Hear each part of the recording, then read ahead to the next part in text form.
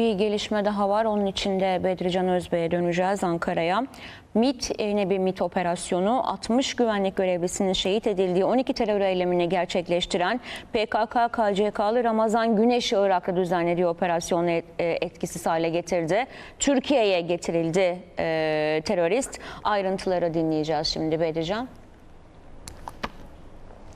Ebru Baki Milli İstihbarat Teşkilatı önemli bir operasyonun altına daha imzasını attı ve İran, İran kuzeyinde Süleymaniye'de gerçekleştirdiği operasyonda PKK-KCK'nın sözde özel güç mensubu Soreş Soreşger kod adlı Ramazan Güneş'i örgüt tarafından e, güvenli bölge olarak götürülen Irak Süleymaniye'de gerçekleştirdiği nokta operasyonla yakalayarak Türkiye'ye getirdi.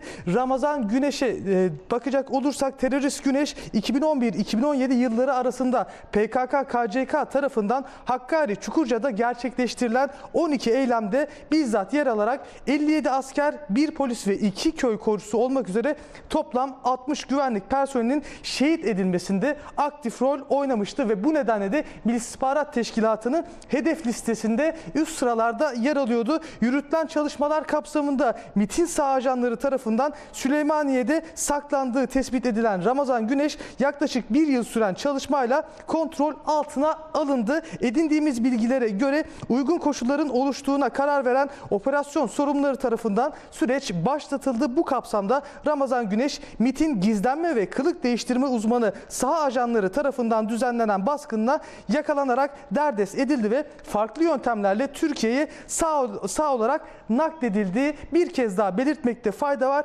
MIT yapmış olduğu operasyonda PKK-KCK sözlü özel güç mensubu Soreş Soreşker kod adlı Ramazan Güneş'i örgüt tarafından güvenli bölge olarak gö- e, görülen Irak Süleymaniye'de gerçekleştirdiği nokta operasyonuna Türk e, yakalayarak Türkiye'ye getirdi. Terörist Güneş'e bakacak olursak da örgüte 2008 yılında katıldı ve Hakkari kırsalıyla Irak ve Suriye'de uzun yıllar faaliyet yürüttü. 2009 yılında örgütün sözde özel kuvvetler birimine seçildi ve MIT'in yapmış olduğu bu operasyonda da Irak Süleymaniye'de yakalanarak Türkiye'ye getirildi Ebru Baki.